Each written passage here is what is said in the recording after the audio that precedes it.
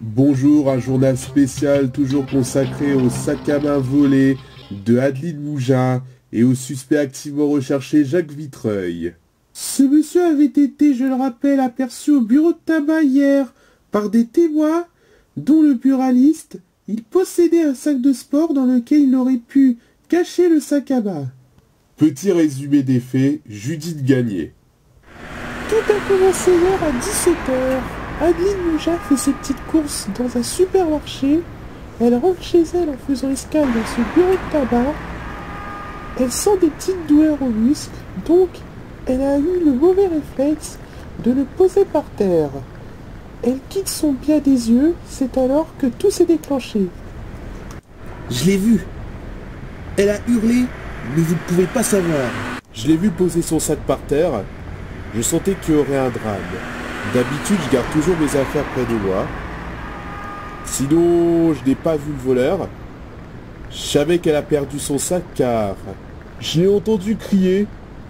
Je me suis demandé qu'est-ce qu'elle avait. Maintenant, comme tout le monde on le sait. Quelque temps plus tard, on approche selon les témoins une source policière qu'un homme a été aperçu devant le bureau de tabac.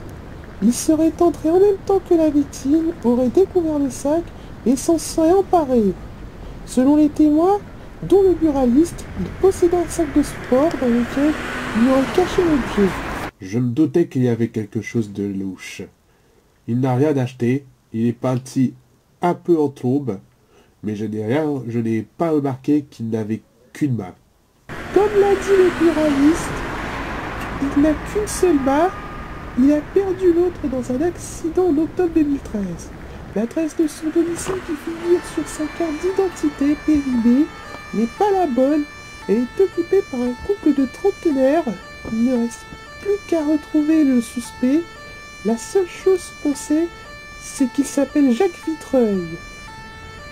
Le commandant Philippe Pouise est avec nous sur ce plateau. Bonjour Philippe. Bonjour Rachid et Carole. Si on vous a invité, c'est pour parler des conséquences du vol sur Marseille, sur la France. Cela cause beaucoup de paranoïa. Tout d'abord, les gens sont aux aguets. Ils surveillent attentivement leurs affaires. Ils n'ont que ça en tête. Ils ne pensent plus à rien. Ça ne risque pas de rendre les gens fous?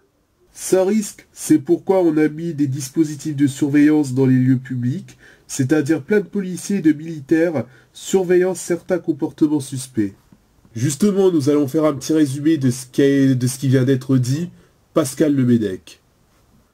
Tout le monde est aux aguets, notamment dans les lieux publics dont la gare Saint-Charles. Je suis très perturbé, il y a mon ordinateur portable, j'y tiens. Je tiens toujours à ma sac. Je ne quitterai jamais quoi qu'il arrive. Mais aussi en Ile-de-France, dans les transports en commun, comme dans le métro et le RER. Moi, je fais comme le dit les ados solaires. Attentifs, ensemble. Pour la sécurité de tous, nous vous invitons à surveiller vos bagages et à les garder près de vous. N'hésitez pas à nous signaler tout paquet qui vous paraîtrait abandonné. Tous les lieux publics sont sur haute surveillance, comme les bureaux de tabac, par exemple celui dont on parle depuis hier. Les policiers surveillent tous les rayons, ils sont attentifs aux moindres comportements suspects.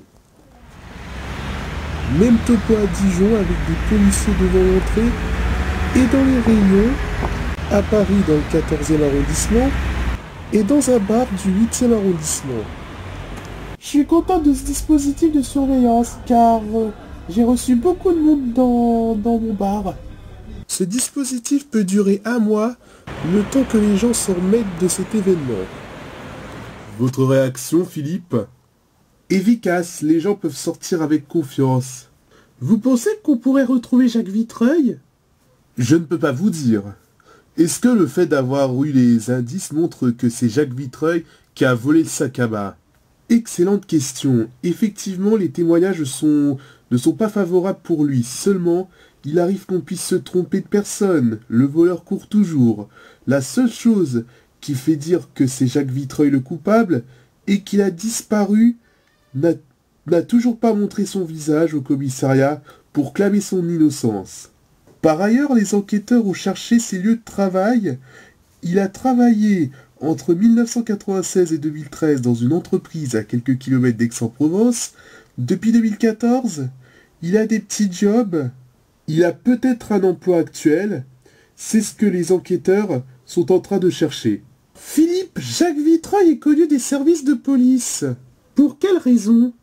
On pense notamment à la tentative de cambriolage dans un appartement d'un couple de sexagénaires en janvier 2014, ce qui lui a coûté deux mois de prison, et avant, il, a eu plein d'amendes pour outrage à un agent. Merci Philippe Wyss d'être resté avec nous pour parler de l'enquête. On reviendra sur cet événement à la fin de ce journal. On revient sur le vol du sac à main et le suspect Jacques Vitreuil. On retrouve Elise Pétoncule en direct de Marseille. Du nouveau concernant Jacques Vitreuil?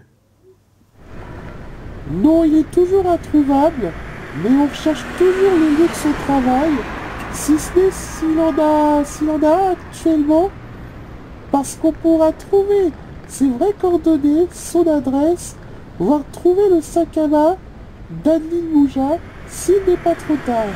Selon les patrons de ses anciens jobs, ce serait un homme sympa, agréable, qui fait bien son travail. Il n'a pas l'air d'un truand. Jacques Vitreuil a dû donner cette impression à ses employeurs, mais a changé de visage lorsqu'il est, en dehors de son travail. Merci Elise. Je rappelle le numéro à composer en cas de nouvelles du suspect ou du sac 01 550 110. Je répète 01 550 110. Si vous voulez avoir des informations sur cette affaire, téléchargez l'application France TV Info. Si vous voulez revoir l'actualité, rendez-vous sur France TV Plus ou France2.fr. C'est la fin de ce journal, merci de l'avoir suivi. Dans un instant, la météo de Laurent Romeshko. Vous retrouverez le journal de 20h présenté par Claude Sirion. Quant à nous, on aura le plaisir de vous retrouver pour le journal de 13h. Bon après-midi à tous, à demain.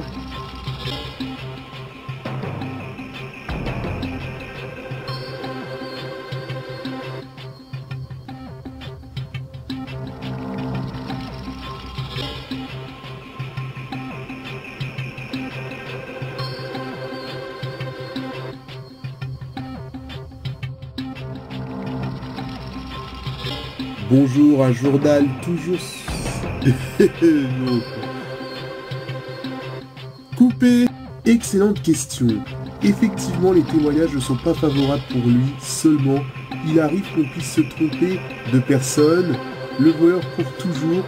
La seule, chose qui fait dire que c'est Jacques Vitreuil le coupable et qu'il a disparu... Euh, Qu'est-ce que je dis Je sais plus quoi dire. Coupé